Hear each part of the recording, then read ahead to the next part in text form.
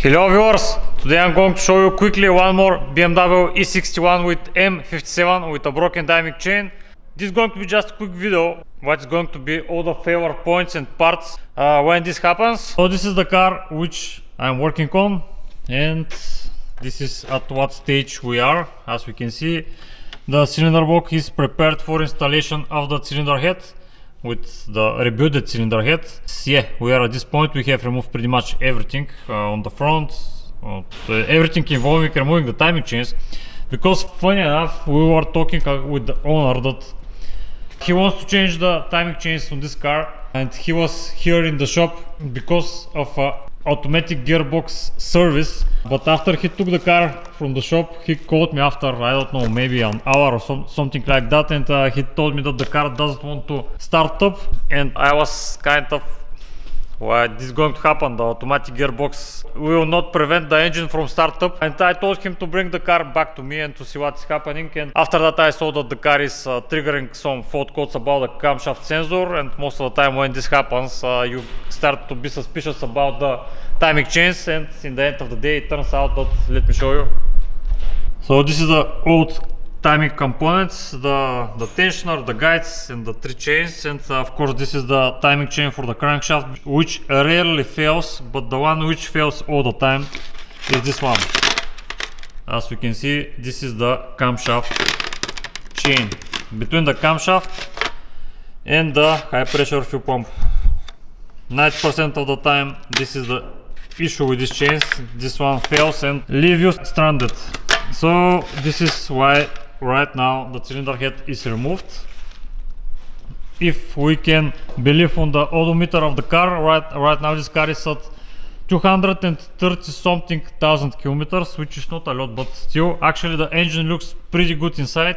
It's pretty clean and uh, probably have seen good service intervals but still this happened and that's why I always recommend this to be done the timing chain service to be done on 200,000 kilometers just to be on the safe side.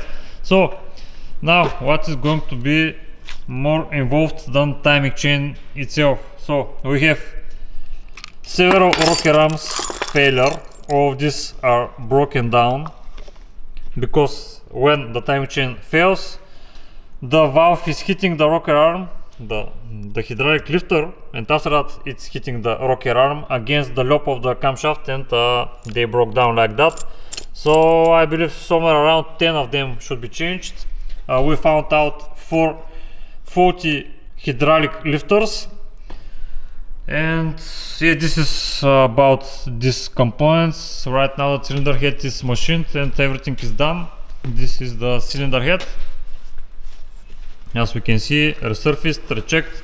All the valves have been checked and uh, we we had only four valves bended uh, you cannot see it like that but four of them are bent and changed. Uh, I can see this one is changed which this two I believe and which one it was and uh, here. So most of the time they are more than this but uh, yeah the other thing which we needed to do like probably most of the time when you're doing job like this on these cylinder heads and most of the BMW engines the exhaust valve guides needed to be changed the 12 of them. Most of the time on BMW engines the exhaust valve guides fails much more faster than the intake ones.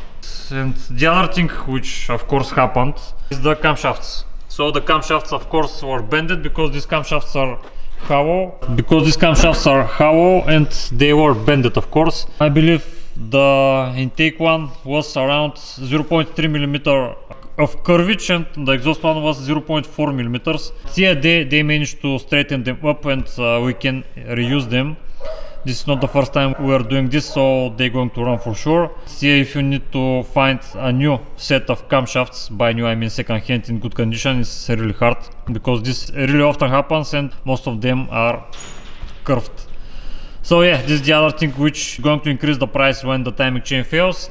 The valves the rocker arms the the camshafts and of course uh, the resurfacing job. We had one stuck glow plug which needed to be dr drilled out probably about the price probably is going to increase the price with around at least 1 or 1.2 thousand euro. More than only timing chain job kind of hard to calculate right now. Uh, really depends how much valves have failed how much rocker arms have failed. And yeah this is it. About the gaskets you're going to need extra gasket for the for the exhaust manifold.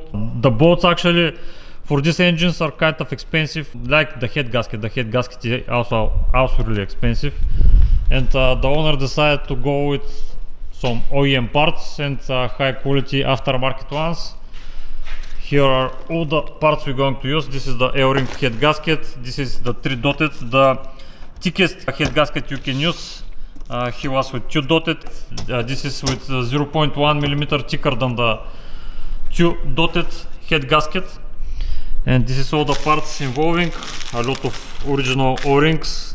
This is some timing components. This is the timing chains like uh, once again OEM ones. This is the serpentine belts the usual flange which is failing all the time on this engine. Uh, this is probably the rocker arms. This is the nuts for the injectors. This is the guides gaskets and uh, pretty much everything involving the timing chain job yeah uh, some gold box uh, and yeah this is pretty, pretty much it. So we're going to assemble everything and we're going to show you in the end how it sounds. Because I have a already a really detailed video about this procedure. Uh, you can see it in my channel. I just want to show you one more car which has this failure because a lot of people are telling me that this cannot happen. But this is not the first and not the last time this is going to happen. Yes, something also really important, when the valves hit the lobes of the camshafts, most of the time these bolts, not most of the time, every time, these bolts which are holding the bearing caps of the camshafts are going to be extended. And you're going to start removing the camshafts and they're going to be loose. This is why you're going to need to replace all the bolts of the camshafts and this is a must 100% because if you reuse the old bolts you're going to have an issues for sure after that that is why you need to buy these bolts. Only OEM brand new ones. Actually it's preferable to change these bolts. Even when you don't have this issue uh, when you just undo them you're going to need to change them. But uh, in our case it's uh, needed for sure because all the bolts were totally failed. So when this happens be sure that you have bought a new bolt for the camshafts okay so the new timing chains are installed just wanted to show. We have installed the O pump, the O suction pipe, of course. We have changed the O-ring here between the O pump and the O suction pipe and uh, all the OEM parts installed, the gasket, um, the chains, the guides, the tensioner and the bolt Actually, we're going to change the three gears on the crankshaft, on the high pressure fuel pump and on the camshaft. But before that, before let, letting up the tension on the camshaft chain, we're going to need to install a timing chain cover because after that you are not going to have access to one of the bolts, but I have a lot of videos about this. Let me just show you on the top, uh, because the cylinder head is already installed, how it looks like. As I told you, the cylinder head with the both camshafts installed, brand new bolts, we have cleaned as good as possible all the parts which are included in the cylinder head. We have changed some of the rocker arms, some of the hydraulic lifters. Right now the engine is locked up. This means uh, the camshafts are timed and yeah, I have locked up the crankshaft. So the only thing that's left is to install the timing chain cover and to connect the upper camshaft chain. Once again, we're not doing this because, let me show you, if we move move up this guide we're going to see that underneath. Underneath we have a bolt here which if we install the chain on the camshaft gear we are not going to have access to this bolt back here. So that's why you're going to need to first install the timing chain cover and after that the upper chain. But pretty much this is it. This is the final steps of installing all the chains and after that we're going to reinstall all the rest things the rocker cover the open and so on. Okay so after a little bit of assembling as we can see everything important wise is pretty much assembled. As usual i have forgot to record the first startup but i'm going to show you how it sounds. So let me start up the car. And especially because many of you going to want to see the instrument cluster odometer so Oh, yeah, it's going to be kind of hard. I don't have enough space to get in the car. Let me figure out something. Okay, I managed to start up the car.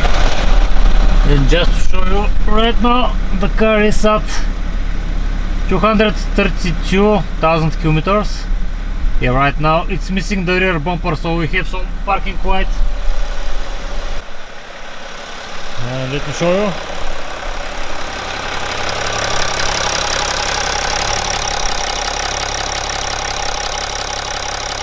Sounds good in my opinion, in my humble opinion. I, does, I don't hear any parasitic sounds or anything like this. Everything seems fine.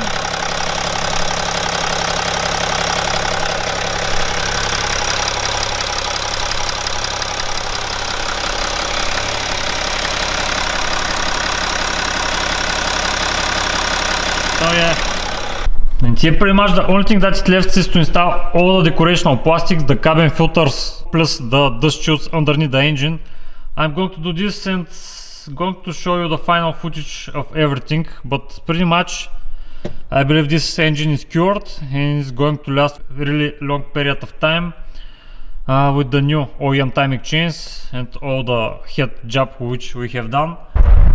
Okay so on the next day, on the morning with everything assembled. All the plastics. As we can see all the fancy plastics installed with the cabin filters. So let me start up the car for you guys. This is going to be the first start of the morning. So it's kind of cold I guess. But still I believe it's going to start fast. Because I didn't have any fault code for Goldbox so let's give it a try okay pretty fast start. Uh, seems pretty smooth for a cold start. Uh, actually we haven't checked the injectors. So let me show you on the front.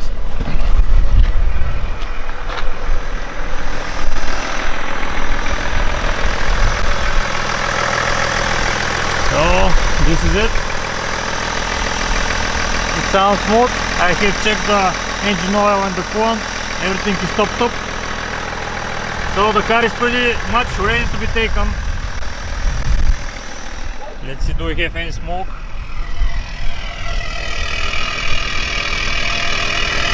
Yeah we are missing the DPF so that's why it sounds like this. Oh yeah it sounds pretty smooth. I believe there will be no issues from now on. Yeah the owner has some sport suspension. I believe it was jump Oh yeah, this is going to be. So let me turn it off. Once again. I have test drive the car and everything seems fine. So, okay guys, this is going to be about this. For this kind of known issue on these engines. Uh, everything seems fine, so yeah, I'm going to end up the video here.